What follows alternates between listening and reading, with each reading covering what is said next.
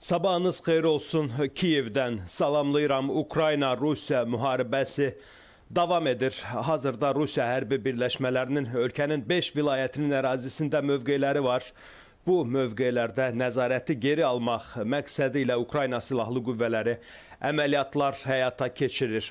Silahlı Qüvvələr qərargahının son xəbərlərinə görə dünən günorta saatlarından indiyədək gedən döyüşlərdə Rus ordusuna aid bir qırıcı təyyarə və 8 ədəd tank sıradan çıxarılıb tərəflərin e, fiziki qüvvə baxımından da qarşılıqlı itkilərinin olduğu bildirilir.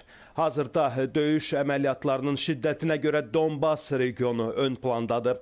Donbas Donetsk və Lugansk vilayətlərindən ibarətdir və Ukraynanın Rusiya ilə sərhəddini təşkil edir. O cümlədən Xarkov vilayətinin də Donbasa yaxın rayonlarında və cənub təmas xəttindəki Zaporojye və Xerson vilayətləri ki, bu vilayətlər də Krım yarımadasının e, qonşu bölgələridir.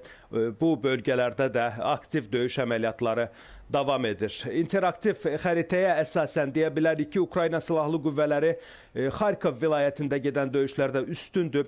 30-a yaxın yaşayış məntəqəsində nəzarət tam bərpa edilib. Ancaq e, Donbas bölgəsi haqqında e, konkret nəticələrdən danışmaq çətindir. Xüsusilə Luganskdakı Severodonetsk və Lysychansk rayonları uğrunda döyüşlər gedir. Rusiya ordusunun hücumları var. O bölgədə Ukrayna hərbi birləşmələri müqavimətə davam edir.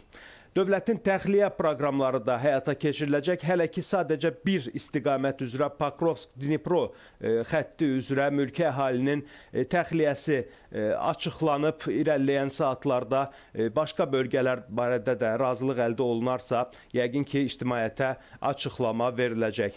An etibarilə paytaxt Kiyev və ölkənin qərb regionlarında nisbi sakitlik müşahidə olunur. Ukrayna-Rusiya müharibəsində son durum bu şəkildədir. Buyurun.